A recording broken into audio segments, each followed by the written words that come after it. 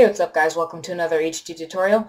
In this video, I'll be showing you a quick, um, a quick little helpful trick I've learned um, that you might or may not already know. That's just kind of helpful if you're um, actually composing something in Microsoft Word that you're using a lot of characters.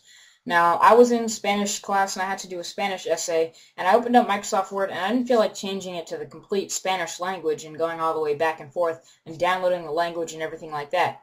So I had uh, Microsoft Word open, and what I wanted to do is just have all the accented characters like handy. Um, so here's a quick way to have them all up for you to always um, to always have them and be able to insert them as quick or much quicker than you normally would have been able to um, using what's actually built into Microsoft Word.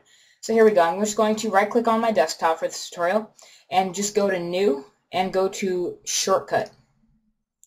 And in this new shortcut, all we're going to type is charmap, C-H-A-R-M-A-P. Hit next, and you can rename this. I'm just going to rename it map and hit the finish button. And all this is going to do, um, all this is going to do is give you a little shortcut that looks just like this on your desktop called map, or which is what I named it. Whatever you named it, that's what it'll have. Double click on it, and this is where you have all of your characters. If I scroll down here, you can see there's hundreds of them.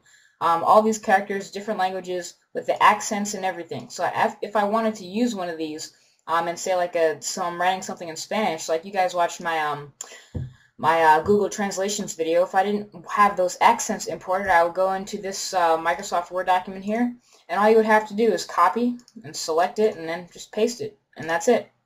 So um, I hope you guys found this tutorial helpful. Just a quick little uh, video for you guys. I hope it was helpful for you guys if you're if you're looking to get a character map. If you like to use it, go ahead.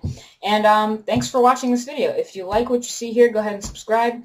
And um, thanks for watching my videos. Peace.